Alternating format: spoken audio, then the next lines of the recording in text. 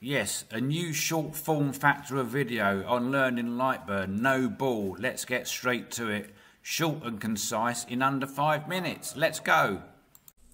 So how to convert a square picture into an oval. Let's drag a picture in.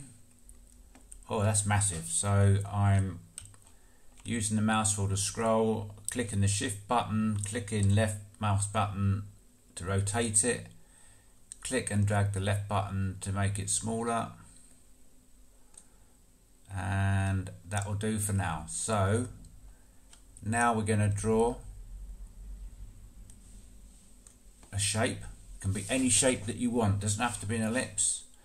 Then we are going to move that over there. Going to resize the ellipse while I can see it. Make it as big as possible.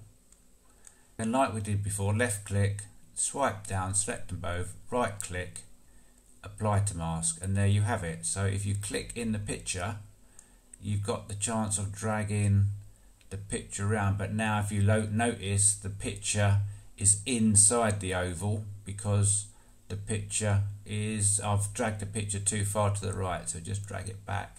But and now it's gone too far down. So you can always um, resize the picture as well if you want to. If you want to get a bit more detail here on the canopy maybe. No.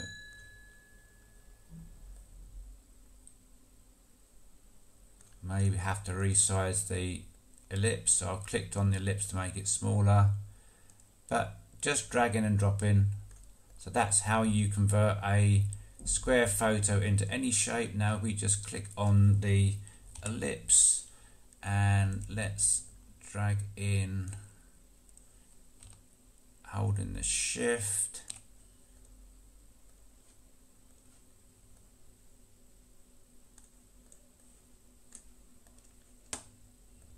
And there you go. So if you then want to change that you then click on shape properties. So if you don't see shape properties over here what you need to do is just go up to the top click on window scroll down and you'll find the shape properties is unchecked. You can check that. And that's the same for if you lose any of the windows. Um, camera console laser material library they're all there. So if they're unticked you don't see them. At the moment it's six sided so you can make more sides. If you want a triangle go down to three sides but you get the idea, just play around. So the masking tool is very, very powerful once you understand how to use it. And I think it is very easy to use once you understand it. Anyway, that's Andy, as ever, wishing you a very good afternoon and continue to make some happy smoke. Thank you for making it to the end of my videos, much appreciated. If you like what I'm doing and I've earned your trust and respect, perhaps you would consider subscribing. If you leave a comment, I will answer them as well. And if you give me a thumbs up, it will put a smile on my face. Perhaps you would like some of the videos popping up now. See you in the next one.